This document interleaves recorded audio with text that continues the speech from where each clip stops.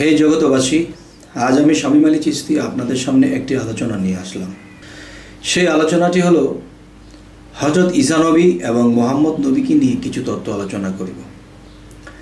আল্লাহ, ঈশ্বর বা গড় বলিয়া ঈসা নবী স্বীকার করেন নাই। শুধু তিনি ঈশ্বরকে তিনি ঈশ্বরকে পিতা বলে গেছেন। আবার দেখা যায়, ঈসা নবীকে আমরা ফেলেও দিতে পারিব না। কারণ আল্লাহ স্বয়ং কোরআনে বলিয়াছেন, আলে ইমরান সুরাতে, আমার ঈসা পূর্ণবান ব্যক্তিদের মধ্যে সে একজন। আরও বলিয়াছেন, চারজন শ্রেষ্ঠ নবীর মধ্যে আমার ঈসা একজন। ইমানে মুফাসাল পড়লেই দেখা যায়, চারজন শ্রেষ্ঠ নবীর মধ্যে ঈসা নবী একজন। এবার আসি, ঈসা নবী আল্লাহ বা ঈশ্বরকে পিতা বলতেন কেন? স্বয়ং স্রষ্টা যিনি, তিনি স্বয়ং পরমাত্মা। এবং মোহাম্মদ সাল্লাহ সাল্লামকে আল্লাহ দোস্ত বলতেন কেন? বা রাসুলকে দোস্ত বলতেন কেন? আগে ঈসা নবীর বিষয় বুঝিয়া লই। ঈসা নবী সেই পরম স্রষ্টা বা পরম আত্মার স্বয়ং গুণ ক্ষমতা কিন্তু স্রষ্টা নয়, আবার কখনো কখনো এক হয়। তাই পরম আত্মার গুণ, ক্ষমতা নিয়া এই পৃথিবীতে ঈশানবী ঈশানবী আসিয়া গেলেন। আল্লাহ বা ঈশ্বরকে পিতা বলিয়াছেন। এবার আসি, মোহাম্মদ সাল্লাহ সাল্লামকে আল্লাহ দোস্ত বলে ডাকলেন কেন? বা রাসুলকে আল্লাহ দোস্ত বলে ডাকলেন কেন? এই পৃথিবীতে যদি ঈশানবী পরমাত্মার গুণ ক্ষমতা এই পৃথিবীতে যদি ঈশানবী পরমাত্মার গুণ ক্ষমতা নিয়ে আসে, তাহলে রাসুল স্বয়ং আল্লাহর বিবেক, যেমন বলা হয়, বিবেকহীন মানুষ পশুর সমতুল্য তাই বলিতে চাই, বিবেকহীন, বিবেকহীনতার কাজ কখনো আল্লাহ করেন না। এই জন্য আল্লাহ রাসুলকে বন্ধু বা দোস্ত বলিয়াছেন। এখন আমি বলব, এই রাসুল শুধু আল্লাহর বন্ধুই নয়। হে জগতের প্রেমিকগণ, হে জগতের ভাবুকগণ, এই রাসুল তোমার ও আমার ও বন্ধু। কেননা রাসুল সর্বসময় তোমার ও আমার জন্যই সর্বসময় কাঁদিতেছেন। রাসুল সর্বসময়ই তোমার ও আমার সুপথ দেখাইতেছেন।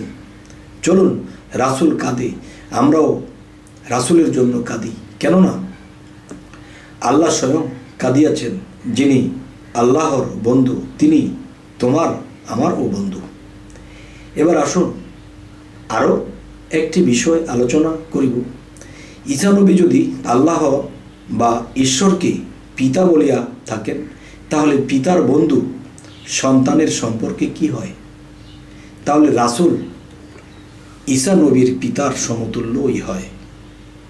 সুবাহান আল্লাহ ঈসা নবী যদি আল্লাহ বা ঈশ্বরকে পিতা বলিয়া থাকেন? পিতার বন্ধু, সন্তানের সম্পর্কে কি হয়?